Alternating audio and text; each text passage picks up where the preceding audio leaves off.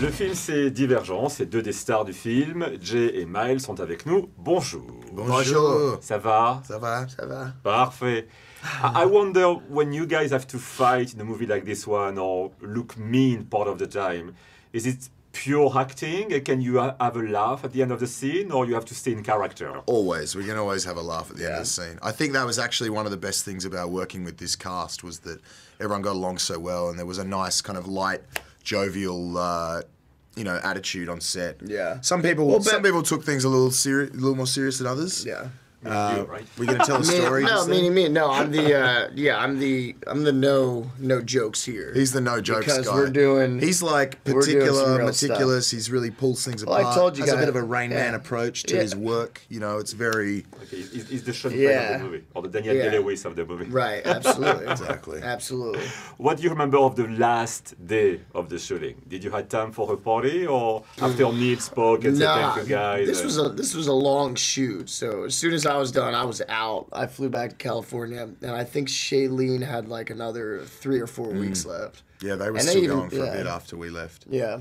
We did have a killer midway party though. We saw the Rolling Stones, and then we went to a. Oh, we saw wow. the Rolling Stones twice, and then went to a bar and had a nice, cool. nice wind down. Yeah, it was very cool. For, for people like you who are traveling so much for work and maybe also not for work, what do you get when you're experiencing different part of the world? You know, uh, the It's one of my and- favourite things about the job.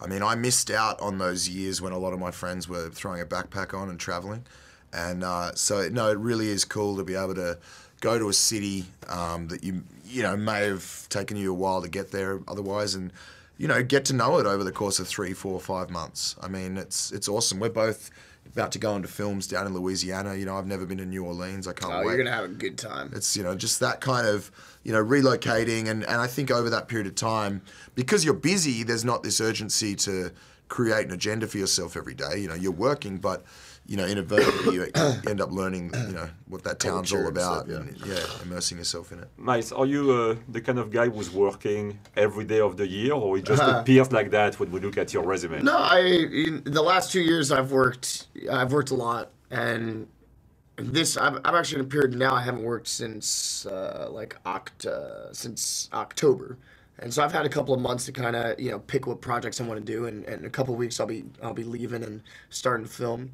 But yeah, I mean, it, if there's so many good projects out there, it's hard to say. Yeah, I'm tired, and yeah, I need a break, but. Well, I wonder for both of you, you know, do you feel sometimes like a kid in a, in a candy store? Because, you know, I've met you probably five or six years ago Yeah. before the beginning of the big wave and we met a few times.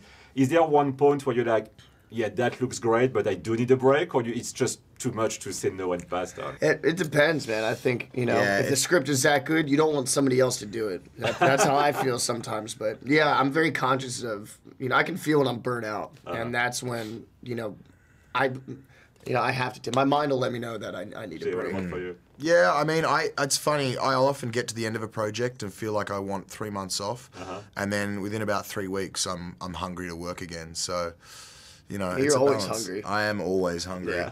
But you know, always you read a good script, you get excited, and uh, you, I think we're both probably fortunate enough to, you know, be able to say we love what we do for a living. So, um, you know, it really is. Uh, Quick last question. What do you think would be the biggest misconception about you for the people who are going to watch the movie without knowing you?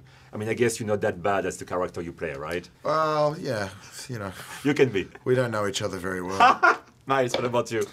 Yeah, I guess uh, the biggest misconception about me is that I am a purely evil person in my real go. life, and don't let all my other movies I've done fool you because I'm a real, I'm a real son of a gun. it's it's Yeah. said then. Merci beaucoup, guys. It was Merci. a pleasure. Oui. Le film, c'est Divergence avec Jay et Miles sur nos écrans. Thanks again. Thank you. Thank you.